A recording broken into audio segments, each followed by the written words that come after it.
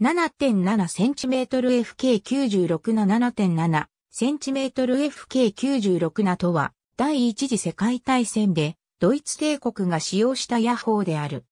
1897年に、フランスが世界で、初めて方針号座、液気圧式中対複座機を搭載した M1897-75mm ヤ砲を開発したのをきっかけに、ドイツもこれに対抗して、方針語座式の中対複座機を搭載した火砲の開発を開始した。新型の砲画と、液圧中対、バネ圧また座式中対複座機と、この前連に正式採用した 7.7cm FK96 の方針を組み合わせて製造されたため、7.7cm FK96 なと命名された。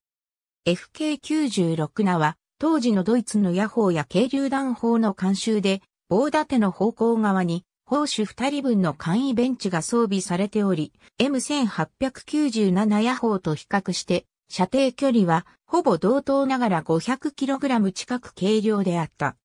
砲弾は初期には榴弾と硫酸弾が用意されたほか、対戦中には鉄鋼弾や照明弾、発煙弾、毒ガス弾も製造された。第一次世界大戦においては、連射速度に勝るフランスの M1897、ヤホーや弾頭重量に勝るイギリスの QF18 ポンド砲を相手に不利な戦いを強いられたため、対戦後半には射程距離を延長した 7.7cm FK16 に更新された。ありがとうございます。